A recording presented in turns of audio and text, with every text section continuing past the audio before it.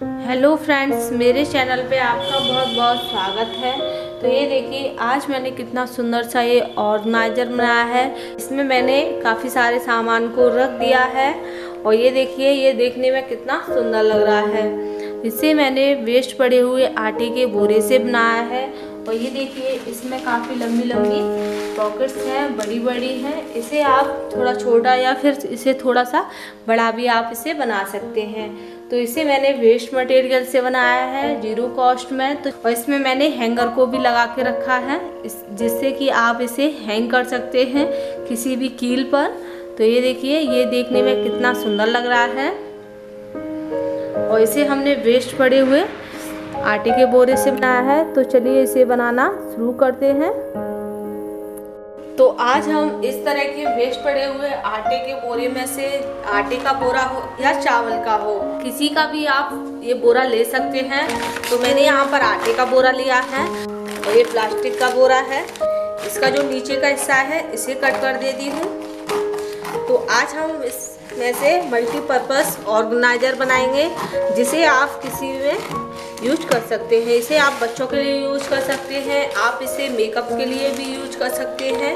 जैसे आप अपनी ब्रशेस कॉम आदि रखने के यूज़ में भी ला सकते हैं। तो अब मैंने इसके नीचे के पार्ट को कट कर दिया है। तो अब हम इसे इस तरह से एक लंबा सा पीस बना लेंगे। इसको कट कर लेंगे। इस तरीके से।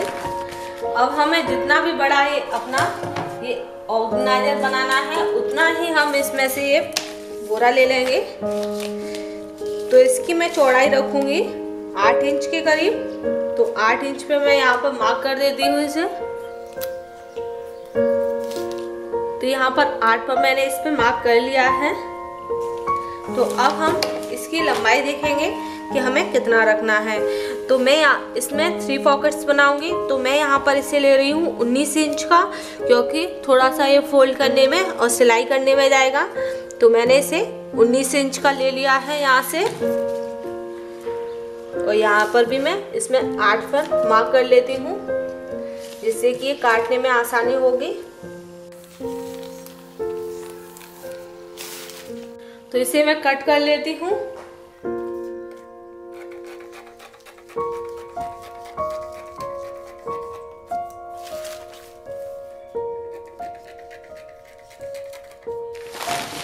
ये देखिए तो अब हम इसमें पॉकेट्स बनाएँगे। तो पॉकेट्स के लिए भी मैं कपड़ा कट कर लेती हूँ, यानी कि जो बोरा है उसमें से।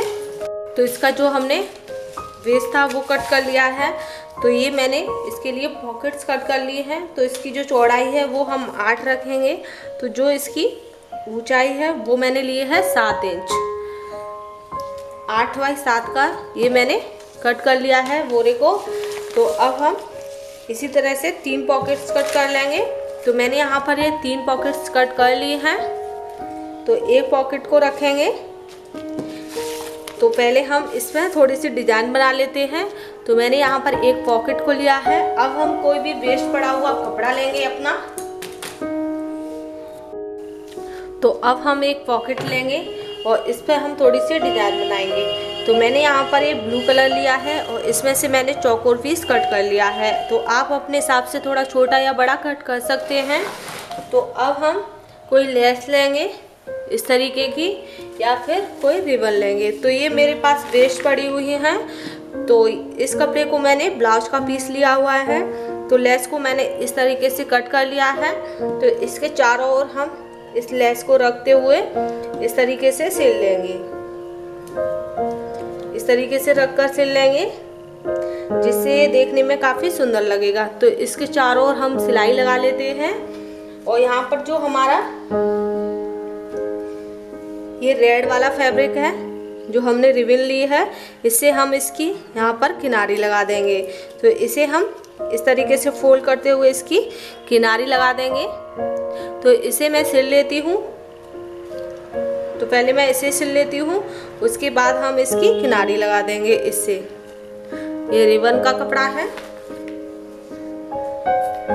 तो ये देखिए, इसके चारों तरफ़ मैंने एक किनारी लगा ली है, लेस को लगा लिया है, और ये हमारा कितना सुंदर लग रहा है। तो अब हम ये अपनी रिबन लेंगे, और उससे हम इस तरीके से फोल्ड करते हुए इसकी किनारी लगा लेंगे। आप चाहें तो इस तरीके से चौड़ी भी इसे रख सकते हैं, और आप चाहे तो इससे इसे पतला भी कर सकते हैं। तो मैं यहाँ पर दोनों साइड में एक जैसा फोल्ड करूँगी और इसकी किनारी को सिलकर तैयार कर लूँगी।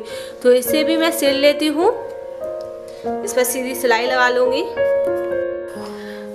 तो ये देखिए, इसकी भी मैंने किनारी लगा ली है और ये देखने में कितनी सुंदर लग रही है। जिस तरीके से मैंने इतना इस साइड में फोल्ड किया है उतना ही मैंने इस साइड में भी इसे फोल्ड कर लिया है। और ये हमारा फैब्रिक कितना सुंदर लग रहा है। तो इसी तरह से हम इसकी जो दो पॉकेट्स और हैं, उनको भी हम इसी तरह से बना के तैयार कर लेंगे।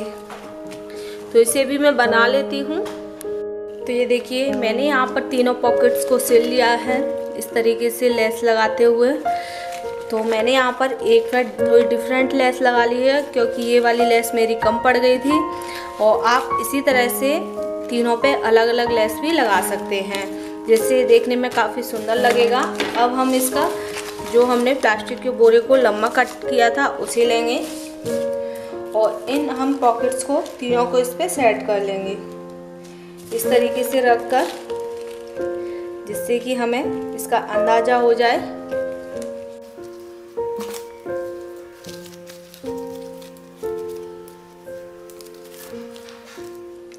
तो इस तरीके से रख लिया है मैंने तीनों पॉकेट्स को। तो अब हम एक, दो पॉकेट्स को उठा लेंगे और जो हमारी फ़र्स्ट वाली, ऊपर वाली पॉकेट है, उसे लेंगे और यहाँ पर एक सीधी सिलाई लगा लेंगे। इससे क्या होगा कि हम जब इस पॉकेट को रखेंगे तो ये थोड़ा सा इसके नीचे आ जाएगी सिलाई जो दिखेगी नहीं और ये हमारी पॉकेट इसमें जॉइंट हो जाएगी। तो मैं यहाँ पर इस पर सिलाई लगा लेती हूँ पहले। तो मैंने एक पॉकेट को इसमें सिल लिया है।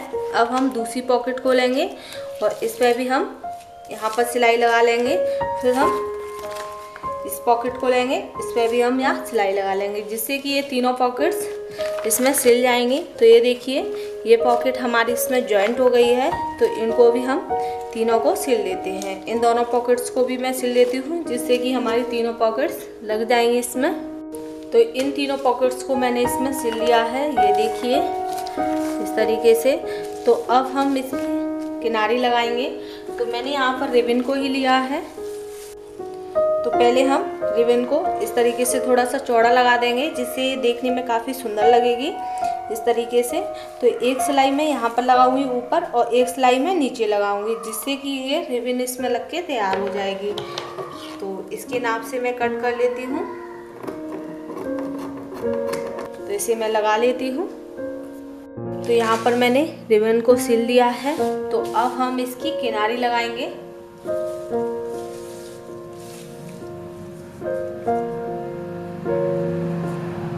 तो यहाँ से हम रिबन को रखेंगे। इस तरीके से फोल्ड करते हुए और इस पर जैसे हमने नीचे किनारी लगाई हुई है, उसी टाइप से हम यहाँ पर भी इसकी किनारी लगा के तैयार कर लेंगे।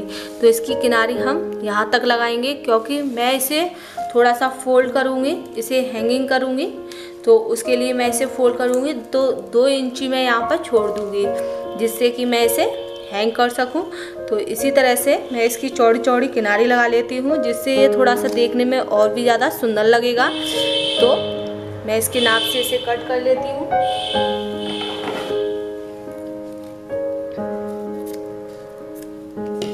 तो इसी के नाप से मैं एक और पीस कट कर लेती हूँ।